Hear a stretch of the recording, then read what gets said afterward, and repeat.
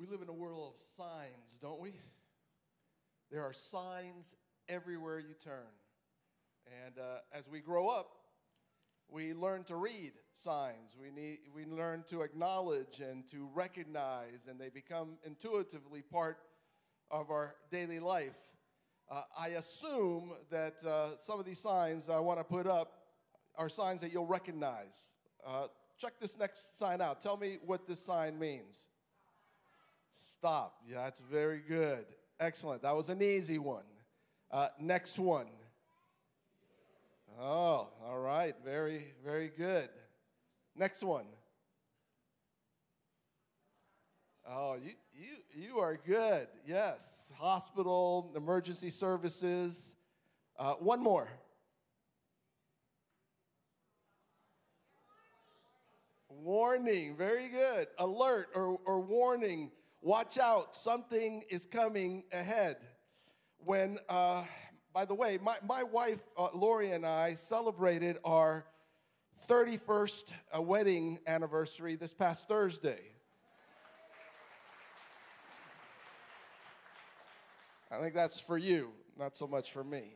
Uh, but uh, we, we celebrated our, our 31 year anniversary. On our anniversary, we had the opportunity to go to Cancun, Mexico. And uh, that, was, that was a lot of fun.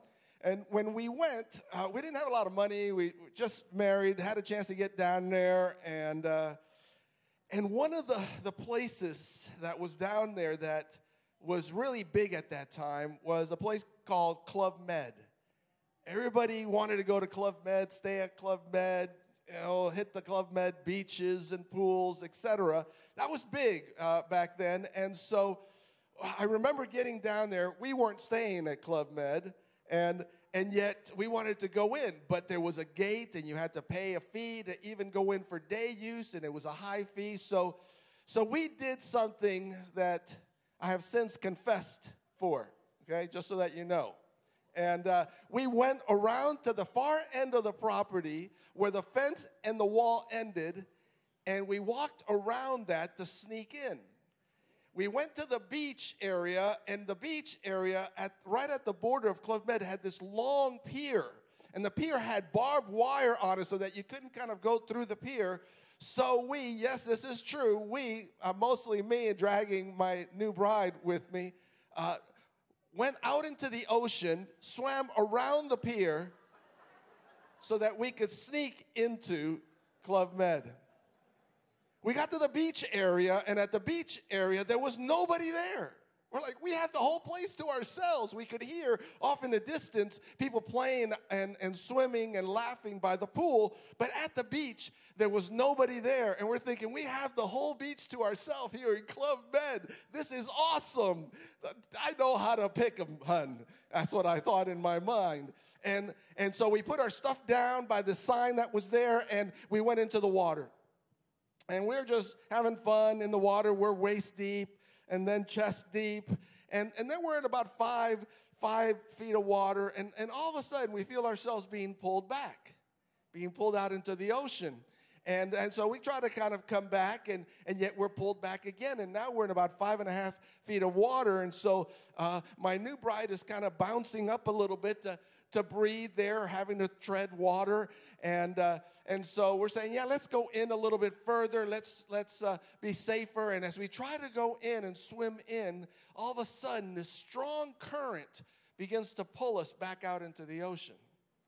Now, as that happens, we begin to swim harder. And, and as my new wife begins to, to swim towards the front, uh, towards the beach, uh, she gets sucked under and uh, she disappears. I look around and all of a sudden she comes up sputtering water saying, Something pulled me down and uh, dragged me across the bottom, and I could see sand on her face drag me across the bottom of there of where we were, and again about five or six feet of water. And I said, "Uh-oh, so we better we better go in."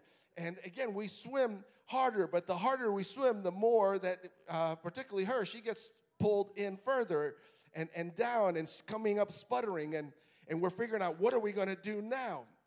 And uh, every time a wave came, we tried to swim with the wave, and we would seem to make some progress, almost to get back where we could touch, and then we'd get pulled back. And so I came up with a plan. I said, the next big wave that comes, what I'm going to do is I'm going to push you as hard as I can, and you're going to swim as hard as you can and hopefully be able to break free. And so we wait, the wave comes, I push, she goes, and I see her swimming, and as I push, of course, I get pushed back.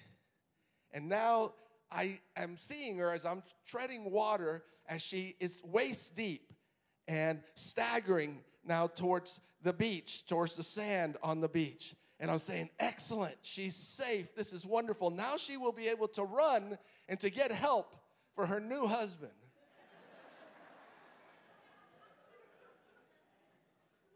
And thank you for the one amen one kind soul. Uh, and, and, and so she gets to the, the sand, and I see her. She just collapses, lays down on her face. And I'm thinking, well, she's resting for a moment. And I'm continuing to tread water and to try to swim forward. She's not moving.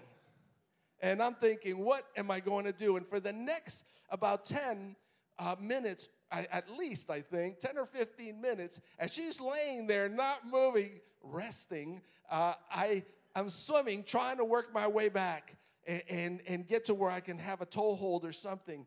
And little by little, I can feel that I'm about in six feet of water. So I'm kind of jumping up because I'm not six feet tall and, and, and coming down.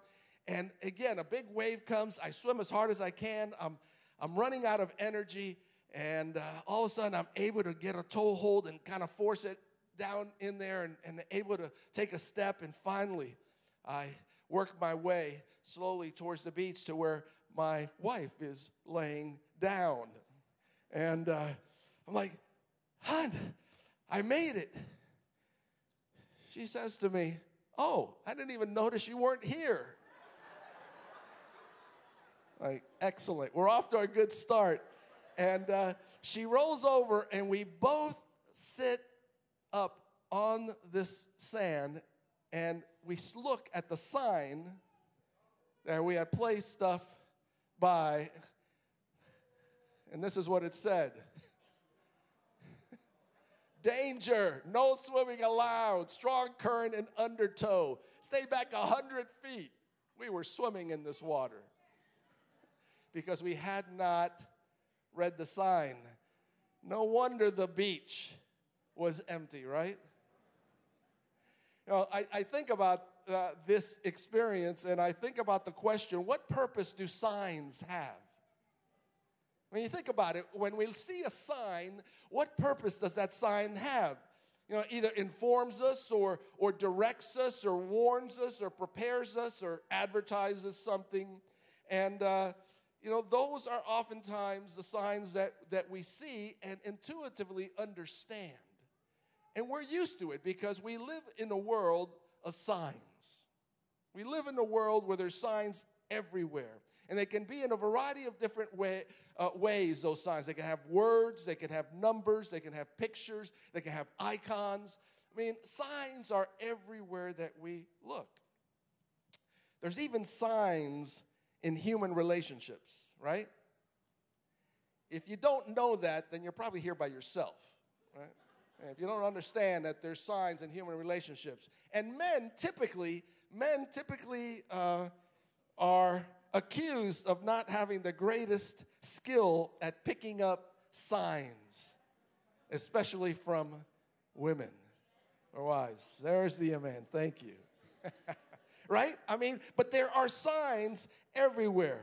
This morning, I want to uh, talk about a little bit about the signs of the second coming of Jesus because oftentimes we talk about these signs, but we do so in a way that I think sometimes ends up being counterproductive or counter even intuitive to, to us. And it's important for us because as Seventh day Adventists, the Seventh day Adventist church is very serious about the second coming of Jesus. So serious that we added it into our name. Second, se- uh, second coming, right? Seventh day Adventist. The Advent implies the second coming of Jesus, that we are to live in anticipation and look forward to the second coming of Jesus. For years, we've been talking, right, about the second coming of Jesus. And as we wait for the second advent, we have looked for signs. We have looked for Jesus' soon return. And as individuals, we have responded some different ways. And as a church, we've even responded uh, differently throughout history. So, my question for us this morning, the question that I hope will come to a conclusion and have a, a conclusive answer for, is how should we respond to signs? Specifically, signs about the second coming.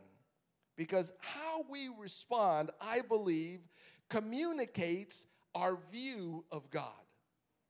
How we respond will communicate to others who then look upon us as Christ's followers how we see God and how they, in turn, will see God through us.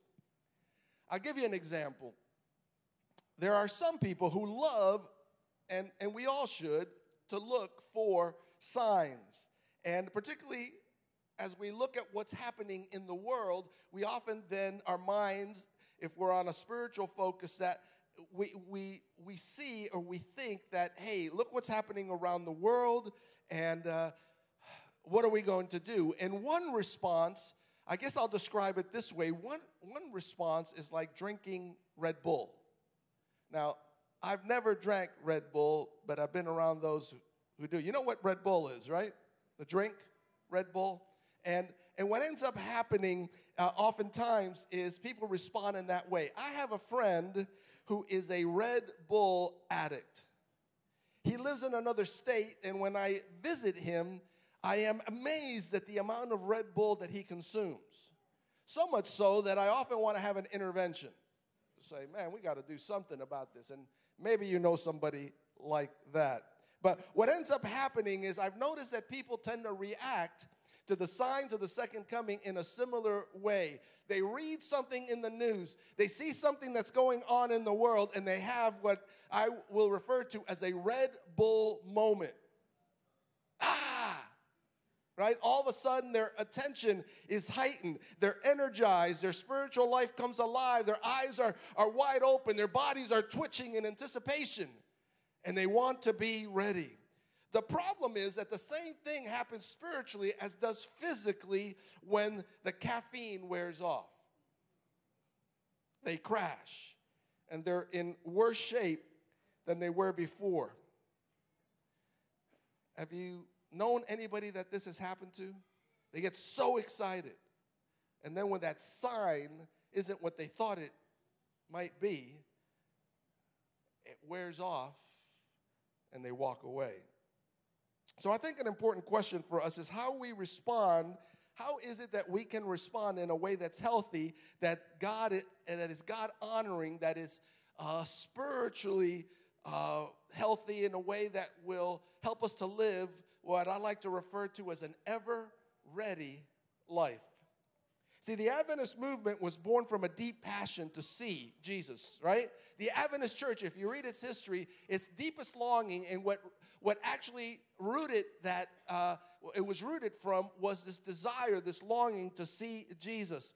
And uh, out of that came the Adventist church to encounter Jesus, to see his face, to be home with him. And that's why it's part of our a church name. That's why it's part of our DNA. We long for Jesus to come. We sing about it. We talk about it. We want Jesus to come and put an, ev- uh, an end to this evil and conflicted and divided planet and to usher in this kingdom of love and, and peace and, and joy, right?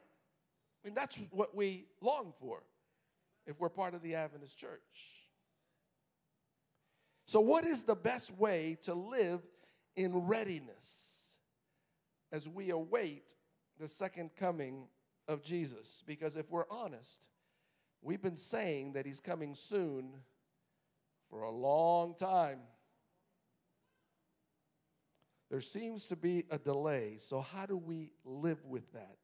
How do we deal with the tension that it might produce in us or our loved ones or those that we interact with when they tell us, You've been saying that, for very long. How do we live in readiness? Uh, this, uh, this afternoon, I want to just spend a couple of moments. I want to share just a few thoughts on this. And if you want to fully, more fully explore this topic, uh, chapters 24 and 25 of the Gospel of Matthew is the place to start because there you will find the most extensive words that Jesus ever spoke about his second coming. But I want to just look at a couple things, starting with verse 1 of chapter 24.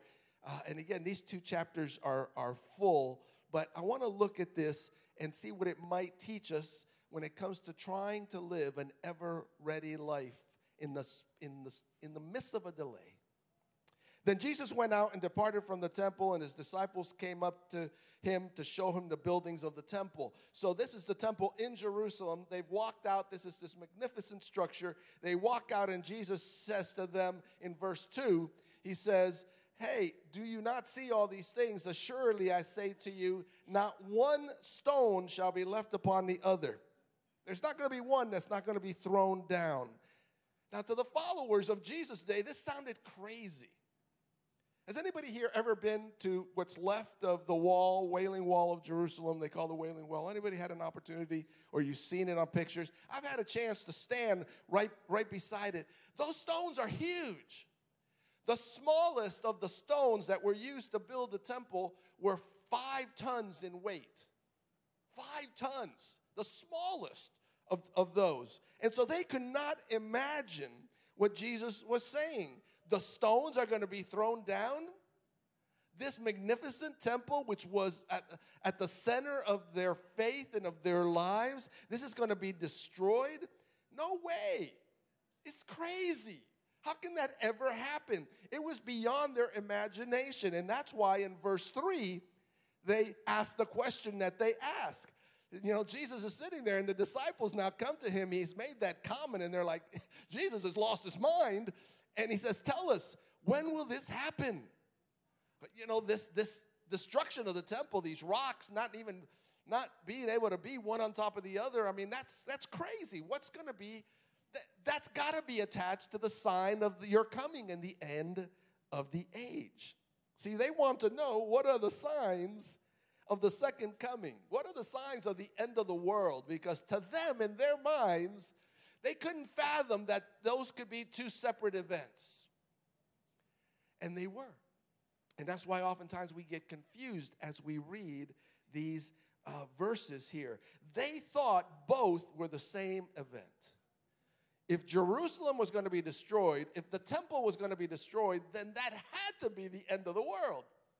It had to be. I mean, they could not imagine anything else. They could not imagine. And we think that way too, right?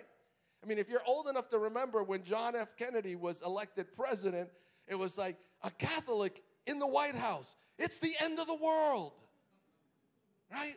And we've done it since then, depending on the events, whether it's communism or Islam or whatever we want to uh, fill in the blank, whether it's a natural disaster, whether it's an earthquake, whether it's a certain pope that gets into gets uh, into office there. And of course, every pope, it seems like that gets elected, had a brother that was a Seventh day Adventist. And it's just crazy. It's crazy. And yet we do that all the time. So Jesus says, Look, Let me explain it to you because you're not getting it. The destruction of the temple and the end of the world are not the same thing. When certain things happen that we think, oh, it must be the end of the world, they are not. And when we say that they are, we're actually discrediting Jesus' own words. We're doing a disservice to God's words by saying, it's the end, it's the end.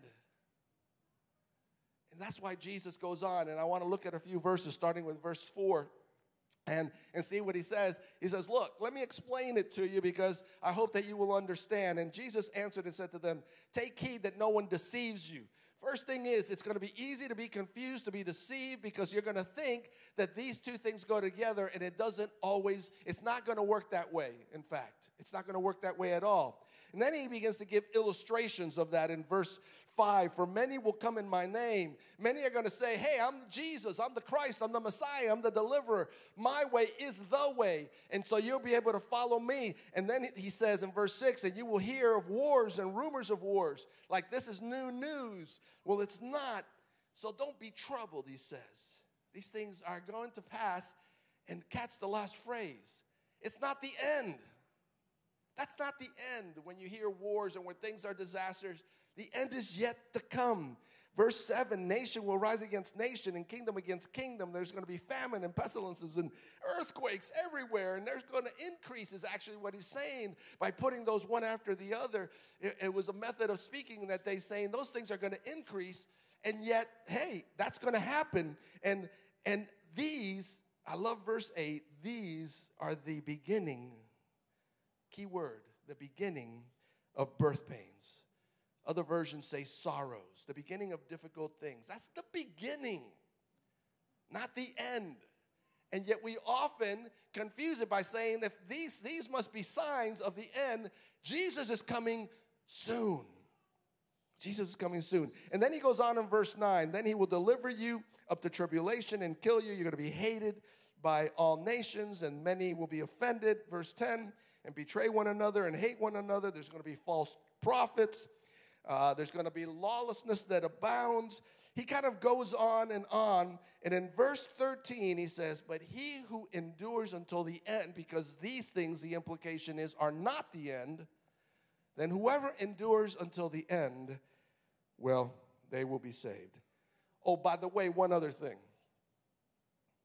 The good news of Jesus, the gospel, will be preached in all the world as a witness to all nations. Then the end will come. Now, as we look at this text, I want you to keep this in mind because the question that should enter into our minds as we read these two chapters that we often use for different reasons is is he talking about the end of the world and his coming or is he talking about the end of Jerusalem, which will happen 30 something years later? What is he talking about? And if we had time to unpack the whole two chapters, you would see the clear divisions. But in this section, his primarily focus seems to be on the end of the world, the end of all existence here on this planet. And then starting in verse 15, Jesus seems to shift to the end of Jerusalem and then later on in chapter 25, he shifts back to the end of the world and his second coming. Here's the problem the problem is we often use the text intended to explain what's going to happen before the end of Jerusalem to think about, hey, those are signs before the end of the world. And what I want to do this morning in the couple minutes that remain is talk about some of those things that we like to quote signs that we like to look for. And that's a dangerous way to live. I'm just going to wait until I see the sign and I want to get my act together. I'm going to wait until I see this happen because that's what it says, although it may apply to the end of Jerusalem, and then I'm going to stop doing that. And, and this is a dangerous way to live. And this is what Jesus is really addressing here partly, one of the things I should say that he's addressing. Uh, and instead of asking and focusing on the time when Jesus will come, um, because if we focus on that, we want to focus on the destination. And let me unpack that for just one moment, because it's not about the signs in terms of when, it's about where and what's going to happen. See, uh, the best words to summarize Jesus' statements regarding the signs is chapter 24, verse 42. Verse 42 uh, gives us the key. Therefore, keep watch, for you do not know when. So, what's the key word there? The key word is it look for the signs so that you can figure out when. Watch. watch. And for what purpose should we watch? Keep watch is what he wants us to focus on because the reality is Jesus will not come when we think he's going to come. Jesus is going to come when we do not expect it. And so, how do we understand these signs that he's talking about here, and how do we respond to them? Because the reality is, if we're honest with ourselves, these signs, many of them have been happening since they were first written down. They were, they've been happening. Uh, wars, rumors of wars, persecution. There's always been earthquakes and natural disasters and famines. So, how do we understand this? I want to illustrate it this way. I want to illustrate it this way. A few years ago, um, my family and I moved from Maryland to California. And uh, my wife had to go on ahead, so I took our two young children and we did the road trip. And on the way there, uh, their number one question was, Are we there yet? And I would say, Look at the signs.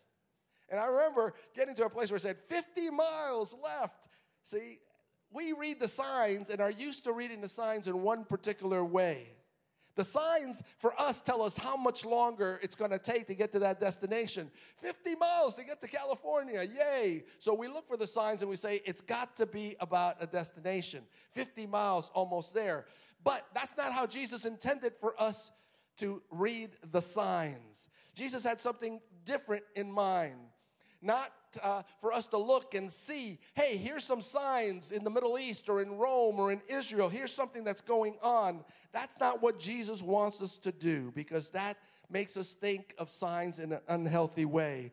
Let me turn a twist on this. Imagine if my wife had been with us on that trip, and imagine that she had been with child and she went into labor pains. How would that have changed the trip? Right? How would that have changed the trip? Because the reality is, if we look at verse 8 of what Matthew 24 has to say, verse 8 reminds us that all the events must take place. And when they do, when you see these signs, they're the beginning of birth pains. They're the beginning of like a child, a woman who's in labor with a child. So, what would I know if my wife was with me on that trip and she went into labor? I would know two things at least. One is that it, that trip still had some challenges left in it. There was going to be some pain. There's going to be some challenges. There's going to be some suffering still that's going to take place. And and I would understand that. And the second thing that I would knew that Jesus knew is that hey, it's going to be hard and I'm not going to be there right away. And so, Jesus, knowing that we would go through a difficult time, Jesus, knowing that our journey to the promised land would be difficult, said, I'm going to give you some signs, but those signs aren't there to tell you when. Those signs are there to tell you you're on the right road. You're headed in the right direction. Don't give up, even though Jesus is not come yet. Don't give up because you're on the right road. You see the signs, and the signs tells us you're tracking. You're headed in the right direction. We don't know when. That's not the purpose of the signs. The purpose of the signs is to know that we are headed in the direction that God wants us to head. It's about being on the right road. So, what's the lesson for us? It's really about living an ever ready life. It's really about not worrying about trying to figure out when. It's about living as if today is the day that you meet your Maker. It's about understanding that Jesus wants us to journey with Him. Sometimes the journey, as we wait for the second coming, we might wonder has God forgotten about us? I mean, that's just part of the reality. I wonder that, God, look what's going on in the world, in my life, in those close to me. God, have you forgotten about me? Have, have you forgotten? And Jesus is saying, look, when you see the signs, it's a reminder that I'm still in control. You're on the right track, you're on the right road. Yeah, the journey's going to be like a woman in labor pains. It's not going to be easy, it's going to be difficult. But it's a reminder that we should live ever ready lives. So this morning, afternoon, I want to remind you that you are still on the right road. If you see those signs, you're wondering, you're still on the right road. The signs, when you see them, point to the kingdom ahead. It's there, it's ahead. I may not see it, I may not know when, but the sign points to the kingdom ahead. So be ready every day because of the faithfulness of God. The journey will end one day and you will be home.